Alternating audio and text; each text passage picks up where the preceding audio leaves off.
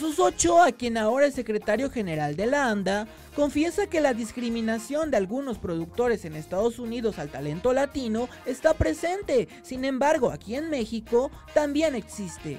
No, pero ¿y de qué nos quejamos? Aquí también existe. Mucha. ¿De qué manera? Aquí, hermano. Eh, nomás para empezar.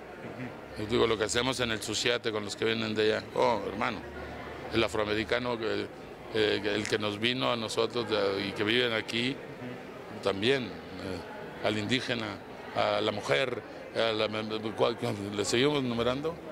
En otro tema, el actor que pronto se reunirá con el nuevo gobierno para ver nuevas mejorías en la ANDA, reveló cuáles serán los puntos a tratar.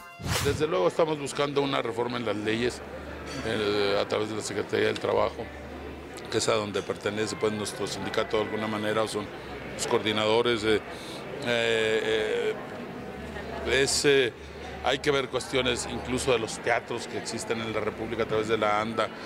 Estamos muy interesados en todo, estamos muy interesados en, la cuestión del actor en, en- la- provincia también, allá, que es muy distinta la condición a, como la vivimos aquí, pues.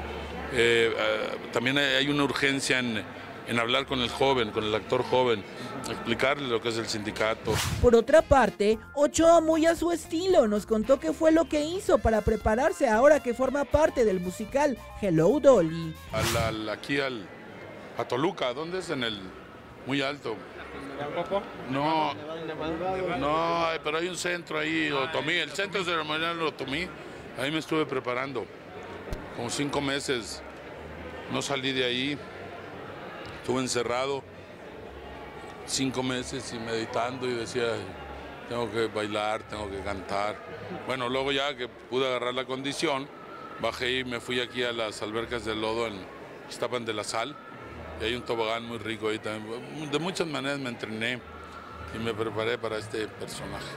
Con imágenes de Giovanni Berrios, aquí en la cuchara, Pavel Hunda.